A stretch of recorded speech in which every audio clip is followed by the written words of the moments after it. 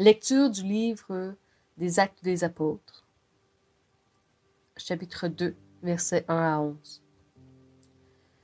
Quand arriva le jour de la Pentecôte, au terme des cinquante jours après Pâques, ils se trouvaient réunis tous ensemble. Soudain, un bruit survint du ciel comme un violent coup de vent. La maison où ils étaient assis en fut remplie tout entière. Alors leur apparut des langues qu'on aurait dites de feu, qui se partageaient, et il s'en posa une sur chacun d'eux. Tous furent remplis d'Esprit Saint.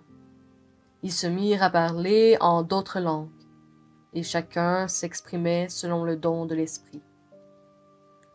Or, il y avait, résidant à Jérusalem, des Juifs religieux, venant de toutes les nations sous le ciel. Lorsque ceux-ci entendirent la voix qui retentissait, ils se rassemblèrent en foule.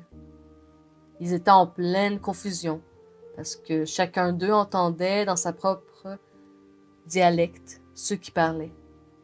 Dans la stupéfaction et l'émerveillement, ils disaient Ces gens qui parlent, ne sont-ils pas tous galiléens? Comment se fait-il que chacun de nous les entende dans son propre dialecte, sa langue maternelle Tous nous les entendons parler dans nos langues des merveilles de Dieu.